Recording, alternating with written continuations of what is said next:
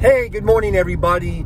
Crypto Mentor 99. How you doing? How you doing? How you doing? It is still Thursday, March 21st, 2024. Coming to you from mobile headquarters. And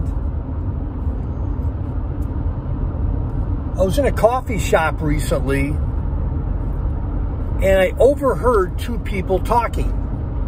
No, I overheard two people complaining. And they were complaining about trivial matters. About how they didn't get the vacation time that they wanted at work. Or, you know, instead of a Monday off, the boss gave them a Tuesday or something goofy like that. I wasn't listening to the whole thing.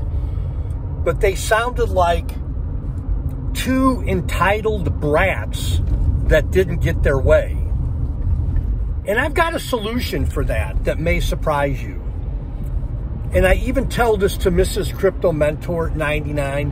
When I'm having a bad day, when I'm having a bad week, when I think my problems are so big, I think of the people that are an hour and a half outside of Guatemala City that we support. I think of the guy that that's had a toothache for three months and his jaw's infected because he can't go to the doctors. I think of the mother that gets ridiculed because her three children don't have enough money for school uniforms and her children are being bullied at school. You think you got a problem with your vacation days at work and your coffee's not hot enough? Go to Cuba and talk to the guy in the sugar field that when he goes to the pharmacy, there's nothing in it. I've been in pharmacies in uh, uh, Cuba where it's empty. They don't even have a band aid. Anyhow, if you think you've got problems, go visit a third world country you think you've got problems, go volunteer at a soup kitchen in the biggest city by your house.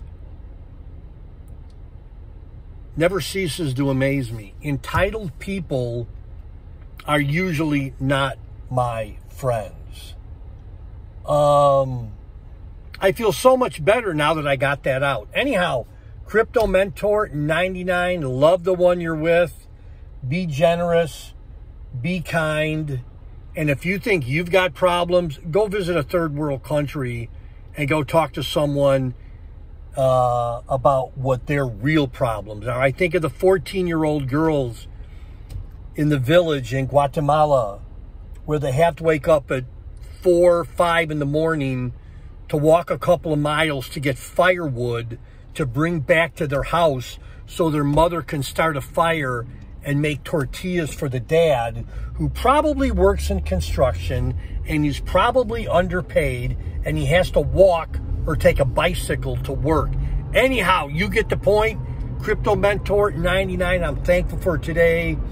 I've got breath in my lungs, couple of bucks in my pocket, some cryptos, got my faith. I'm good to go, baby. Love y'all. Bye-bye.